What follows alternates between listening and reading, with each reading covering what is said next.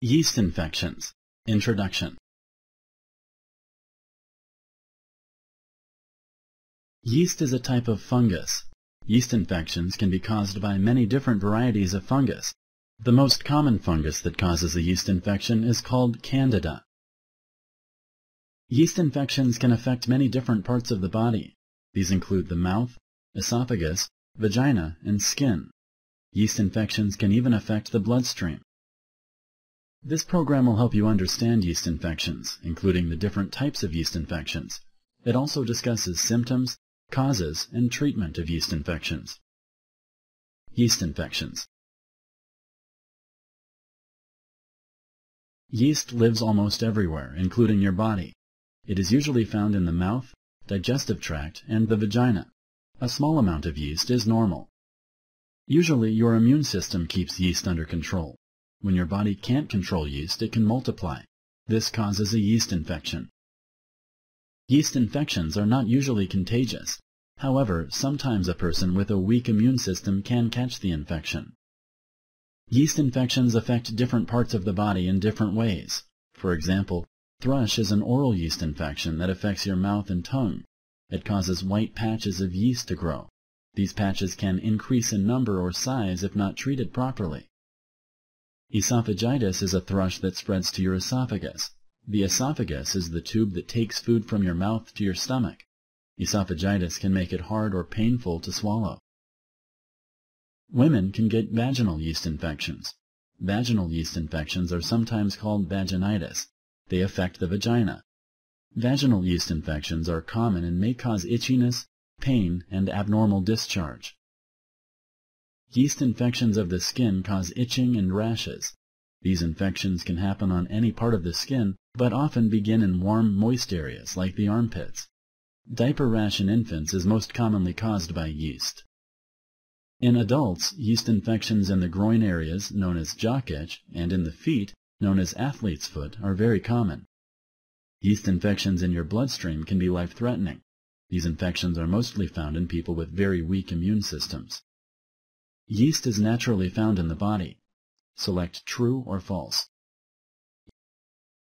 Correct.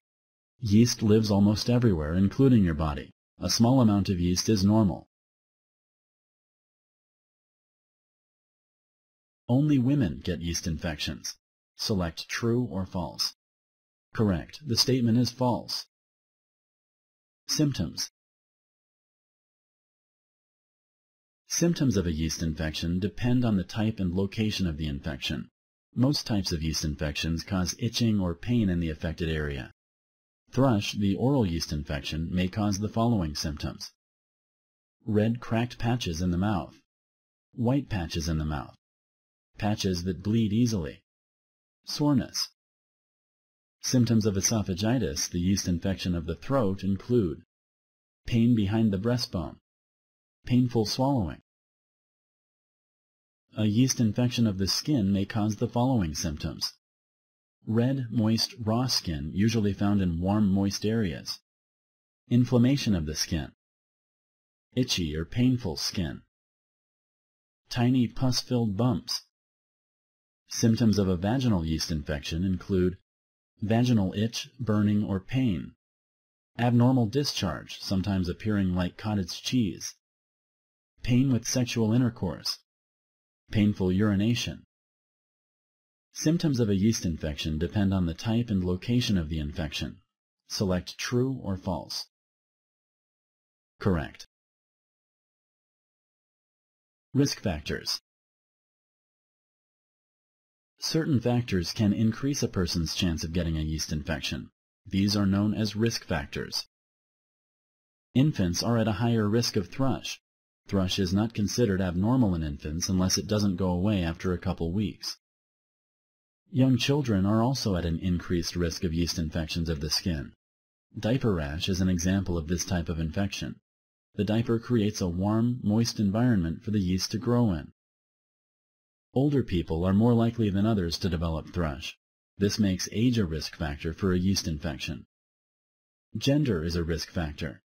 Most women will have a vaginal yeast infection at some point in their lives. Obesity is another risk factor for yeast infections. People who are obese may have extra folds of skin in which yeast can grow.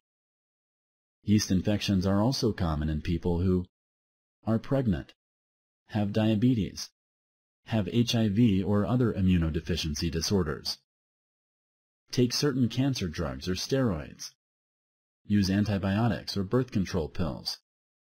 Other factors that may increase a person's risk of a yeast infection include hormonal changes, illness, lack of sleep, poor eating habits, stress. Which one of the following can increase a person's chances of getting a yeast infection? Choose one of the following options. 1. Age. 2. Stress. 3. Taking antibiotics. 4. All of the above. Correct. There are many risk factors that increase a person's chances of getting a yeast infection. Diagnosis If you have symptoms of a yeast infection, your healthcare provider will try to find out if a yeast infection is the cause of your symptoms or if there is another cause. Your healthcare provider will ask about your symptoms and perform a physical exam.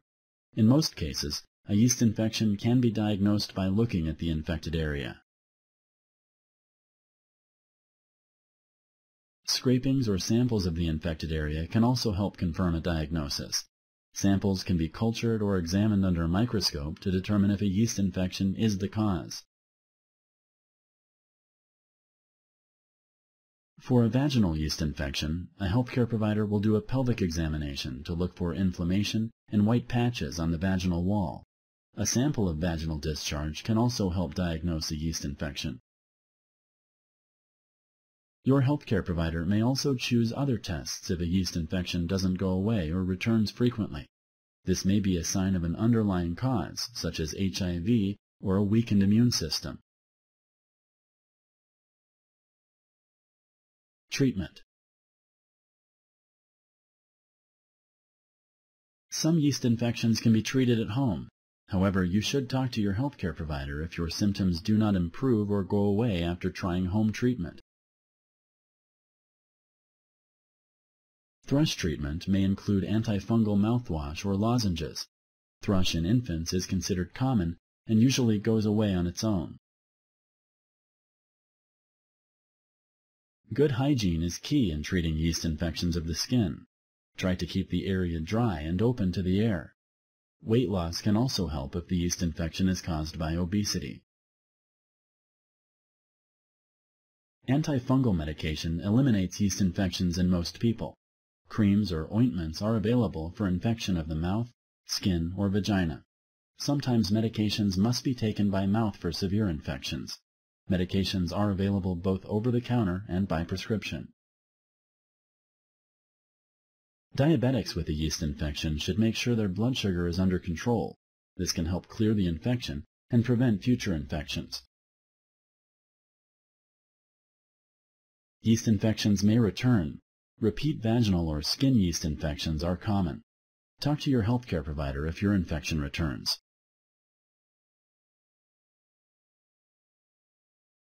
Most yeast infections are easily treated. However, a yeast infection may be life-threatening in people with a weak immune system. A weak immune system may make treatment more difficult. Treatment of yeast infections in the blood may require weeks of IV antifungal medications. This type of infection can be life-threatening. Once a yeast infection is treated, it won't return. Select true or false. Correct. Yeast infections may return. Talk to your healthcare provider if your infection returns.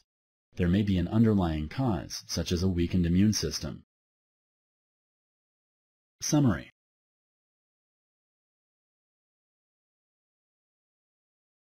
Yeast infections are caused by fungi, Candida is one of the most common fungi involved with these infections.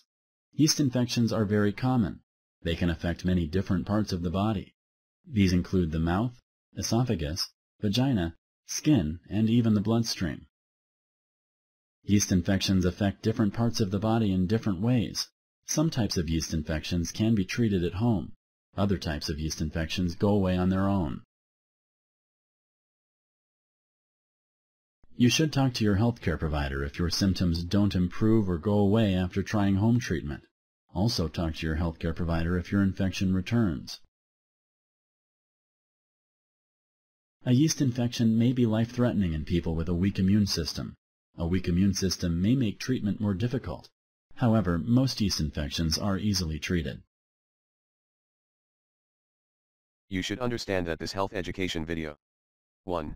Includes general information and not specific medical advice. 2. It shows graphics and series of pictures and dialogues that have been simplified for better understanding. If you have any questions, you will check with your doctor or healthcare provider.